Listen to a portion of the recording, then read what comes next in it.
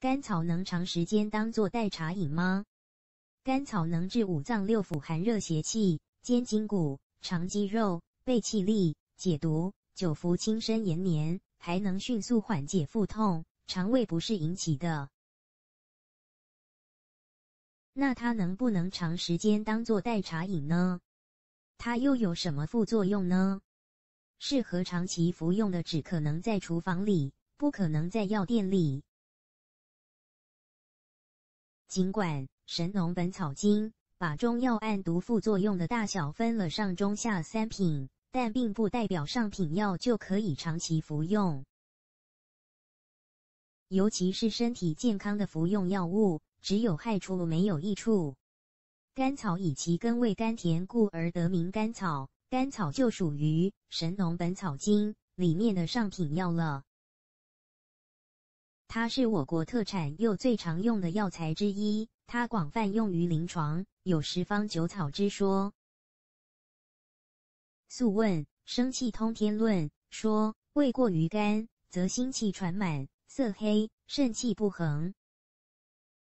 唐代王宾注曰：肝，多食之，令心闷。肝性滞缓，故令气传满而肾不平。何者？土亦木也，恒平也。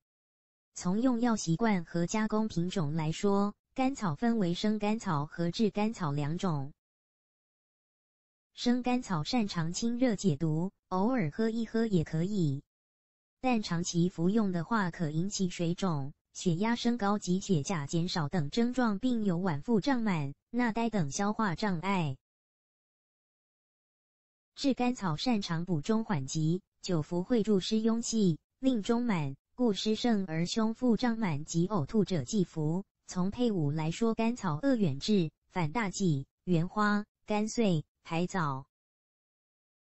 最后，我还是要重复中医的养生观：中药是用来治病调偏的。不是用来养生保健的，养生保健还得从作息规律、饮食居处、调畅情志入手。至美中医，质朴之言。甘草是生活中特别常用的中药，比如止咳润喉的甘草片，还有不少用甘草泡茶来清火解毒。尽管甘草有许多养生作用，但是长期或过量食用仍然有中毒的危险。因为经常用嗓，常常咽喉发炎、嗓子疼痛。他听说甘草能驱火，就经常用甘草泡水喝。一天下午，这位老师开完家常会后，随手抓了一把甘草放进茶杯，不知不觉喝了四杯水。晚上回家就开始恶心、泛酸水，不能吃饭，看到水都恶心。经针灸科医生吕佩婉诊断。这位患者就是由于过量喝甘草水而引起中毒。很多都喜欢用甘草泡水代替茶水喝，认为可清热解毒，就不注意用量，于是出现中毒。对于以上案例，吕佩婉开了两剂解毒汤，方用泽泻三十克、炒白术十二克、桂枝十五克、茯苓十五克、陈皮十二克两剂，用沸水冲泡。慢咽代茶饮。甘草的确有补中气、润肺止咳、缓急止痛等用处，而且和药物配伍还可以调和药性、解毒。甘草虽好，但却有药物的偏性。这种偏性用的合适可以治病，不合适的时候就是毒。例如甘草服用太多会引起浮肿。吕佩婉建议大家不要把甘草当茶饮，最好要在服用前咨询一下专业的大夫。甘草是生活中特别常用的中药，比如止咳润喉的甘草片，还有不少用甘草泡茶来清火解毒。尽管甘草有许多养生作用，但是长期或过量食用仍然有中毒的危险。甘草的确有补中气、润肺止咳。缓急止痛等用处，而且和药物配伍还可以调和药性、解毒。甘草虽好，但却有药物的偏性。这种偏性用的合适可以治病，不合适的时候就是毒。甘草服用太多会引起浮肿，建议大家不要把甘草当茶饮。众所周知，很多中草药泡水喝对身体是很有益处的，甘草就是其中一种比较常被用来泡水喝的草药。很多都喜欢用甘草泡水代替茶水喝，理由为可清热解毒。但甘草长时间当做代茶饮的做法是不可取的。甘草俗称甜草，气味味甜而特殊，性平和，入心、脾、肺、胃四经。甘草生用偏凉，可泻火解毒，缓急止痛；治用偏温，能散表寒，补中益气。此外，甘草还善于调和药性，解百药之毒，因此甘草是一种非常广泛的中草药，广泛用于临床，有十方九草之说。茶大多性平，红茶、黑茶略温，一般具有抗衰老、解毒、强免疫等功效，具有一定的药理，但整体属于食品的范畴。不过也要根据季节和个体质选择不同性味的茶。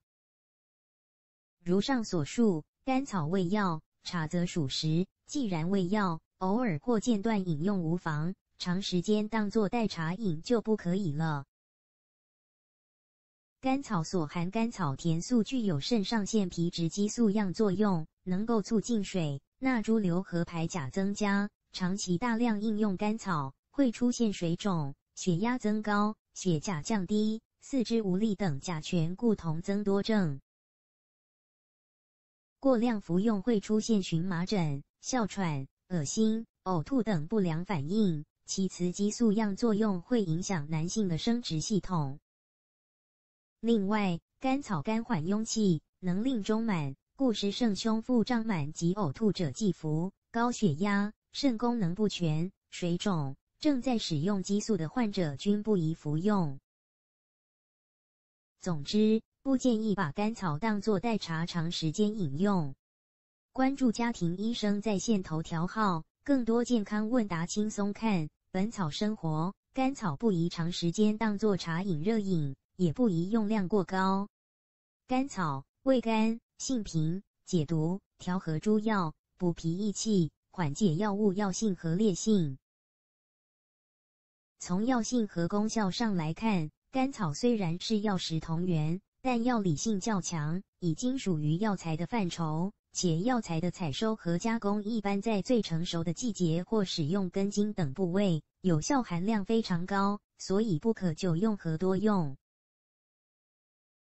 而茶热饮不一样，茶大多性平，红茶、黑茶略温，一般具有抗衰老、解毒、强免疫等功效。且茶的采收是按食品标准，一般是植物的嫩尖部分，虽然也具有一定的药理，但整体属于食品的范畴，所以一般情况下可以长久饮用。当然也要根据季节和个体质选择不同性味的茶热饮。